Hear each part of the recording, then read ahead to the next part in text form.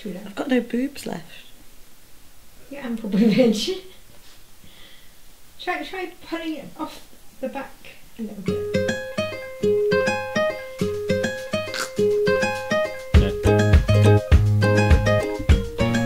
Hi, my name's Holly and I work at Zed Events.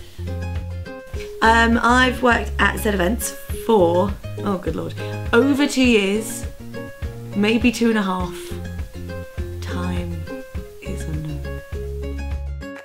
Um, I actually wanted to be a customer at Events. Uh, I was a student and couldn't afford it, which was really sad. So I emailed the company, asked them if I could just come along, see how they do the makeup and things. I met the events manager. He fell in love with me and with my personality and charisma and charm and offered me a job on the spot. Um, he did regret it a few weeks later. However, I'd already got my claws into everyone. Um, so yeah, I've been here ever since. My favourite zombie film, and I know I'm going to get slaughtered for this, is 28 Days Later. I know it's not a zombie film, I get that, but it's grouped in there, it's grouped in there, so I'm still going to choose it because it's so good!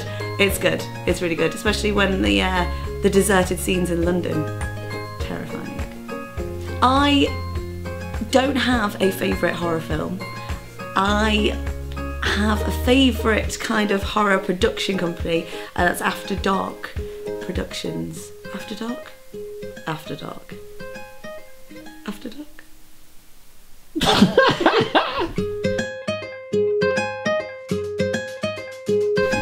I told you I'm going to be awful at this. Okay, my favourite role was actually in the old script, and I think I'm allowed to talk about this, um, was the police officer that the customers first met when they came through the doors.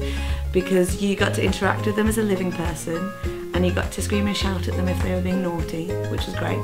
Um, and then you had your death scene.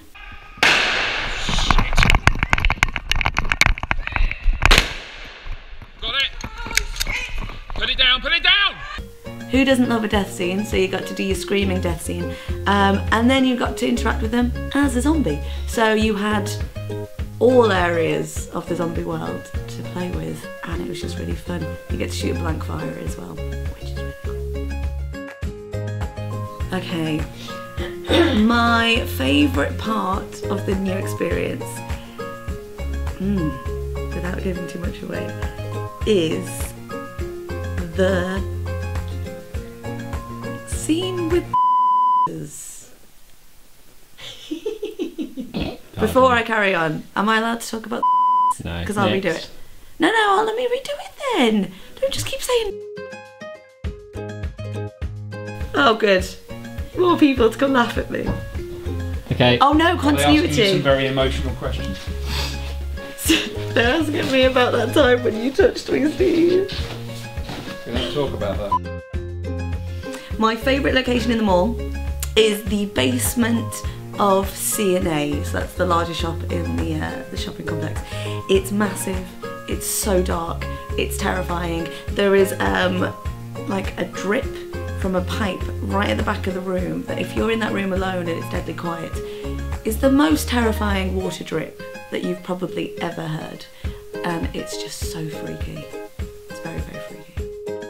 The best memory from an event was from the old script, and it was when myself and Greg were zombieing. And we just happened to see a couple of customers coming along the main concourse. We both looked at each other and we both kind of nodded, like, yeah, let's get them together. So we both run forwards, and Greg runs straight into a glass door and split his eyebrow open. Now, at the time, I didn't know that he had split his eyebrow open. However, it was so hilarious to the point where I didn't even go after the customers. I did just stand over him and laugh. And it was one of the most funniest things that's ever happened to me in an event. You see it there? The old scar on the head? I bet that's what she said. He's fine. He was fine, but it was very funny. What is your I best? knew you were going to pick that. So, my best memory outside of the actual event would be when a couple of us went to download um, and we had our own zombie makeup stall and we uh, gave out free makeup and applied it to the people of download. Um, I can't actually quite remember the number that we got up to, but I'm pretty sure it was over 3,000 people that we made up in one day, um, all of which to raise money for charity uh, for the Sophie Lancaster Foundation. And uh, the day after that, we just kind of zombied around download. Um, through drunken people is quite alarming. Um, they don't really know the boundaries, but to get the scares that we did in download was just incredible. Um, three words to describe Zed events. I love it.